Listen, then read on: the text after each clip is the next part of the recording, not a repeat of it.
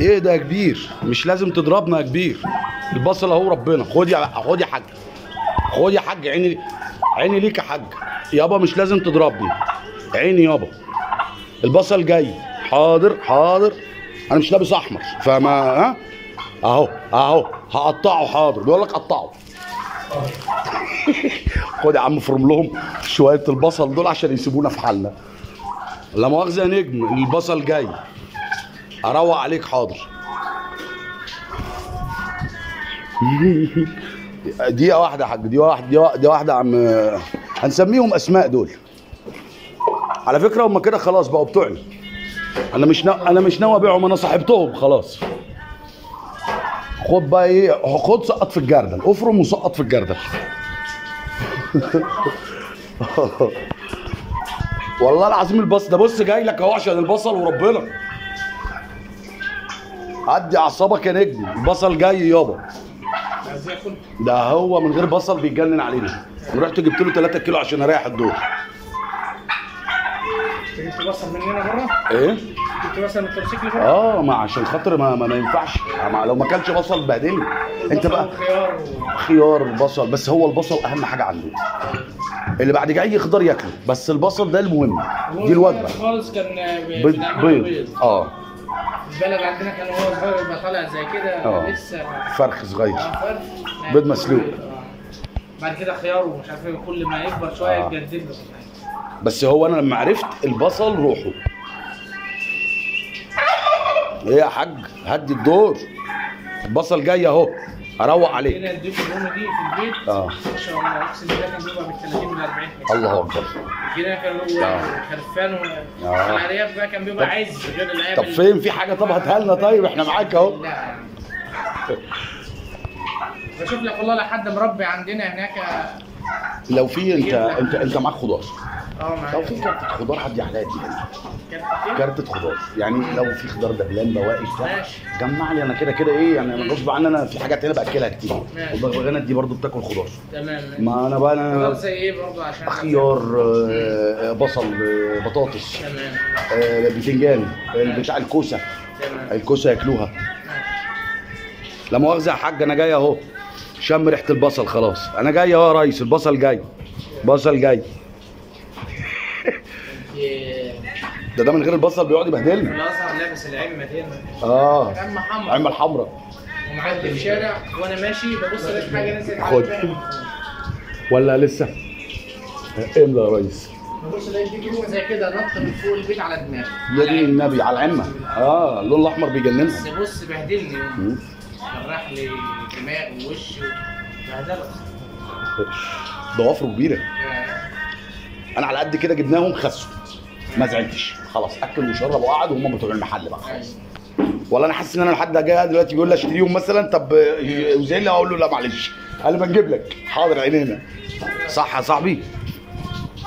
أسميك إيه أنت؟ أنت سميك إيه أنت؟ تعالى هنا. تعالى يا أبو بصلة. ما بيدومش علف. بياكلوا ما العلف قدامهم ما بياكلوهوش هم عايزين آه، خضار خضار وزود بصل. ماشي. تعالى يا نجم. تعالى. خد يابا. اطلع لأخوك بقى. اطلع لأخوك بقى. تعالى. خد يا نجم. اوعى. اوعى يا ريس. اوعى بقى. اطلع. اطلع. استباحتك فل يابا خلت البصل. روقت. سيبنا في حالنا بقى. وده كان الديك الرومي مع البصل. البصل بقى يخليه ما يجريش ورا اللون الأحمر.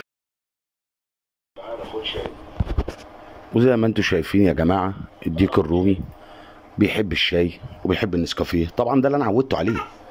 الديك الرومي الأساس بتاعه البصل لما يكبر. وهو صغير طبعا بياكل البيض المسلوق. وإحنا عارفين الموضوع ده مع الخضار. الديك الرومي البلدي بتاعنا ده أصله أصله سلالة منحدرة من أمريكا اللاتينية. يعني أمريكا الشمالية والجنوبية يعني موجود هناك ده موطنه الأصلي. والألوان بتاعته الألوان اللي أنتم شايفينها الأسود ودرجات الأسود والرمادي. لكن آه، هو بيسمى عندنا آه، الطير ال- ال- ال- ال- ال- ال- الرومي الرومي البلدي أو الرومي الحبشي.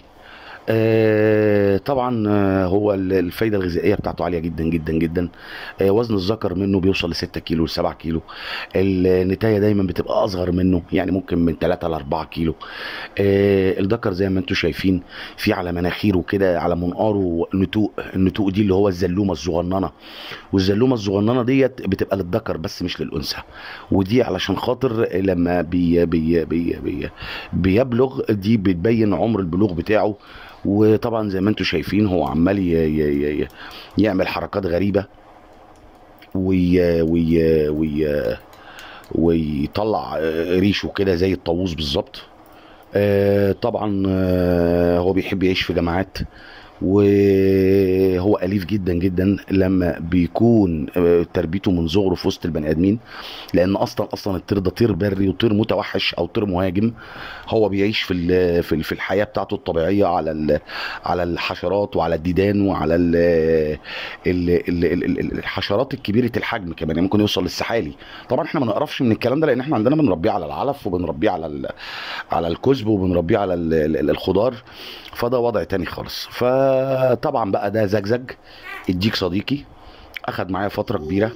كان نفسي أكله من أول يوم لكن طبعا يعني إيه آه إلهام قالت لي لا يا طه آه اصبر يا أبو سمير يا حبيبي. لما نأكله ونزقلطه طبعا إحنا جبناه آه، للتجار الوحشين التجار الأشرار زي برضو الأشرار اللي قتلوا الكلاب اللي قتلوا حلمقة وزلمقة. دول برضو تجار أشرار بي بيحشوا الحصالة بتاعته بيملوه علشان يوزن وزن كبير ويقدروا إن هم يكسبوا منه وإحنا طبعا آه، بنشتريه فبيخس عندنا فاضطريت إن أنا أسيبه فترة لما يرجع لوزنه الطبيعي طبعا إحنا شايفين هنا أهوت ودي لحظه آه، آه، آه، ده؟ زجزج وهو نايم بالليل مودي ولا مين ومعانا؟ هنا صديق من الأصدقاء حابب إن. هو يلعب معاه عايزكم أيوه تشوفوا إيه اللي انس بالظبط دلوقتي هيهجم على الديك الرومي وهو نايم. هنشوف دلوقتي انس هيعمل إيه؟ مش عارف. هو شكله نايم. ده بيشخر؟ أنا نايم عادي روح خبط عليه خبط عليه. قول له صح صح كده ولا إيه إيه؟ ده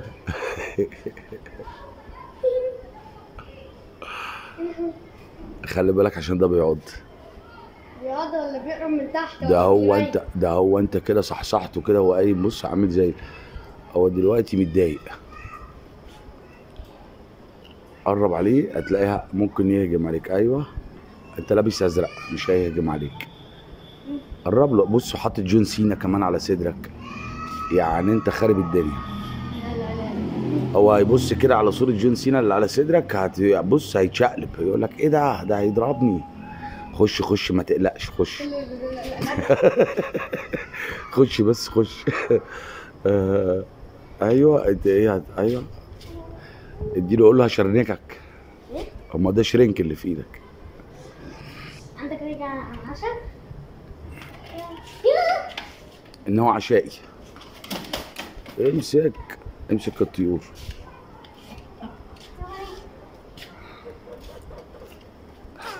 ده تيزو.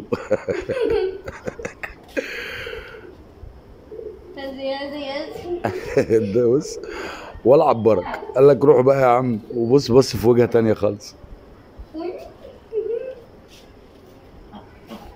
بص بيقول لك بس بدل مظروفك. ده؟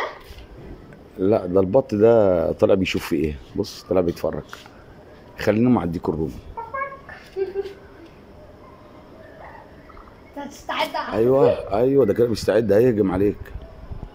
هو دلوقتي الهجوم بقى. هنعد تلاتة اتنين واحد ما هجمش.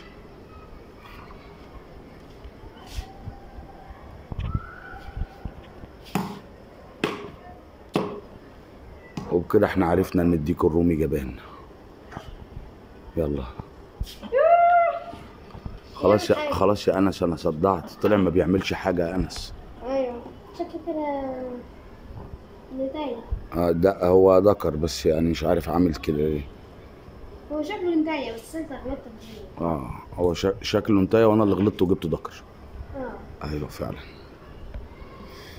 نشوفكم في وقت تاني عن وطبعا في. الآخر آه، ما عرفش يعمل معاه حاجة لأنه خايف منه. لأن هو معروف هو اتعرف في. المنطقة ان هو شرس. في حياة حتى طرد لي الكلاب وطرد لي كل حاجة وحشة هناك يعني قطط آه، مش عارف إيه هو بيروق لي الدنيا. سلطة شوربة. وده بقى هنا زجزج في آخر. لحظاته.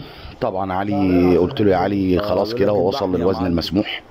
ويا ريت بقى أم سمير آه، تبدأ آه، تعمل المصلحة علشان خاطر تبدأ تحشيه لنا. حشوة الممتازة بتاعتها. وتعمل لنا بقى الوليمة الكبرى على الديك زجزج طبعا إحنا عرفنا كده كل المعلومات اللي لازمه عنه عن أكله وعن موطنه. وطبعا شكرا ليك إنك جيت من الأمريكتين علشان خاطر ناكلك. وبنقول لك نشوفك في الحياة الأخرى. نشوفك في بطننا إن شاء الله. وتوكل على الله يا علولة اذبح. بسم الله الرحمن الرحيم. وبكده ذبح زجزج. زجزج طبعا بيرفص في الجردل. وده لازم عشان يبقى حلال. يطلع كل الدم الزيادة اللي عنده. وطبعا أنا ما بذبحش حاجة إلا إذا كانت في أتم صحه علشان خاطر تبقى صحية في الأكل. ودي نصيحة يا جماعة. بلاش تاكلوا الوقيع. بلاش تاكلوا الحاجة اللي على السكينة. دايما دايما اذبحوا الحاجة وهي في أحسن صحة ليها. وما تصوموهاش ساعة الذبح. لازم تكون واكلة ومرتاحة علشان دمها يكون كتير. وبكده نشوف مع بعض إن شاء الله الحلقة الجاية. زجزج مع ماما لولو هتعمل فيه إيه. وكده بقى. نشوفكم الحلقة الجاية إن شاء الله. الجزء الثاني صح يا معلم. زجزج في الفرن. سلام. كده دقيقة. آه خلي أهو نعمل.